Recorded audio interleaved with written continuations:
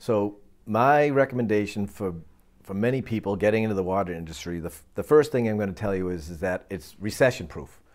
It's, it's a necessity that everybody needs, whether it's drinking water or wastewater.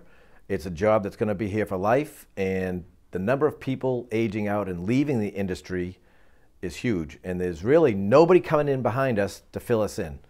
So the openings are there, and if you're into a green environment, you're helping the environment every single day. So I've said it before. One of the things I like the most is that during the course of my day, I can go out and I can see four million gallons a day of spotless, clean water going back out in the environment that's going to be somebody's drinking water, recreational use, fishing. It's like there's a lot of, you know, things there to be proud of at the end of the day. And, and maybe not every industry has that. So nobody knows this industry is here unless you know somebody who's in it. So, how am I supposed to introduce you to this? I stumbled into it, but I drag people into it now, and now they're here and they're happy.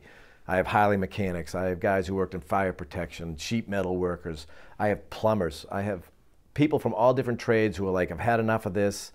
I like this stability, pretty much normal hours, um, and the satisfaction of, of seeing what I do at the end of the day. So if you're looking for a career, we're waiting for you. So, yeah.